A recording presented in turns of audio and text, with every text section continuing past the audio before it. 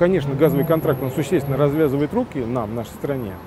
Вот. И он политически очень влияет на то, чтобы европейские недальновидные политики просто пересмотрели свои взгляды, потому что Россия стабильный, очень крупный поставщик. Здесь нельзя мешать политику, понимаете? Они теперь уже пытаются замешать политику на экономике, хотя сами всегда считали деньги. Но не будут они по 500 долларов нигде покупать этот газ, потому что это просто невыгодно. Там я знаю, что там основная трудность была это торговля по цене, понимаете? И э, если, допустим, мы производим что-то, вот, да, машину, да, и продаем дешевле производство, наш, ну, наш завод в конечном итоге закроется. Это потенциальные противники. В любом момент они могут, естественно, изменить свою позицию и сказать, нет, мы так не договаривались, мы имели в виду вот это, а вы нас неправильно поняли. Попутчики они.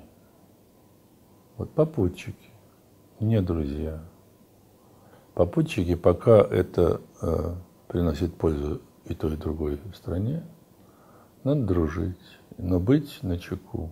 Просто нужно использовать совпадение национальных интересов и э, э, ловить вот эту вот э, струю. Потому что сейчас нам выгодно быть вместе, нам выгодно э, сотрудничать. Конечно, Китай думает в первую очередь о своих интересах, но мы тоже думаем, каждая страна думает только о своих интересах.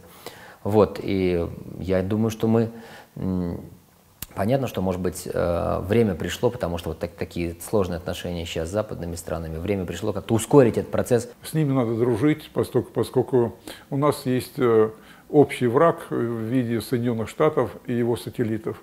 Поэтому нам иначе не на кого будет опереться.